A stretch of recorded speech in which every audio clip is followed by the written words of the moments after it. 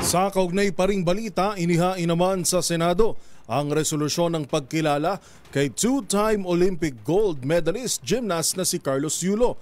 Ayon sa mga senador, si Yulo ay hindi lang simbolo ng inspirasyon para sa mga kabataang Pilipino kundi patunay rin na hindi kailangang maging matangkad para maabot ang tagumpay.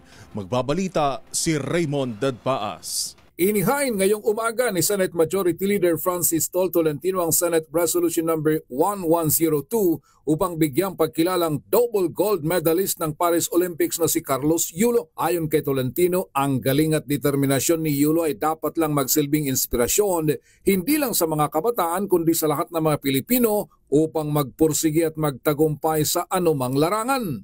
Si Yulo ay unang nakuha gold medal sa men's floor exercise bago nakuha ang isa pang gold sa men's vault gymnastics. Ayon naman kay Senador Robin Padilla, pinatunayan ni Yulo na hindi kailangan maging matangkado dayuan para magbigay ng dangal sa Pilipinas.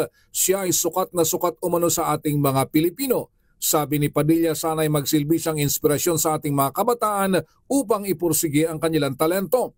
Huwag isipin na sila ay kulang sa tangkad at hindi kayang mag-training sa abroad dahil nakita na sa ginawa ni Yulo ay dito siya sa Pilipinas nag-training at nanalo ng hindi lang isa kundi dalawang ginto sa nagpapatuloy na Paris Olympics. Nagpabot din ang pagbati si Senador Lito Lapid sa kanyang tinawag na Golden Boy na si Kaloy Yulo. Ayon kay Lapid, malaking karangalan ang nakuang double gold ni Yulo sa Paris Olympics kaya saludo ang senador sa husay, sakripisyo at dedikasyon nito para sa Pilipinas. Sabi ng senador na mula sa isang patang nangahas sumali sa palarong pambansa hanggang sa isang premyadong world-class athlete na nagbigay sa atin ng ating ikatlong ginto sa Olympics sa loob ng isang siglong paglahok ng Pilipinas sa nasabing palakasan. Ang kwento umano ni Carlos uh, Yulo ay patuloy ng kapangyarihan ng pagsisikap at pangarap.